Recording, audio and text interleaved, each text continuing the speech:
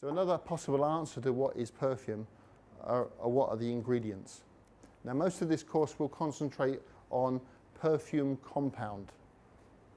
Perfume compound is the concentrate that goes in to make a liquid perfume such as Chanel number 5. Chanel number 5 may have 35% of the concentrate and the rest will be alcohol, colour, antioxidant, UV absorber, yeah.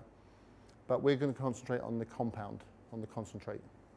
So when I talk about perfume, I'm mostly talking about the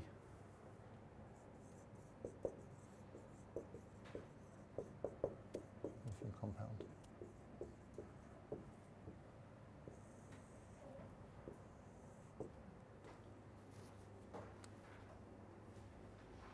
So in a product, in a, a, fine quality perfume, there could be as much as 50% of the compound.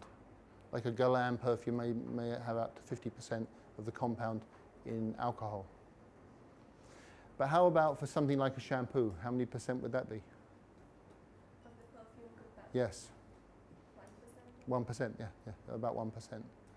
And a cream or lotion? Yeah, 0.25, 0.5. 0.5 is about the most you want to put into a cream because it stays on the skin for a long time, goes into the skin and may cause irritation. So in this compound, there are several components.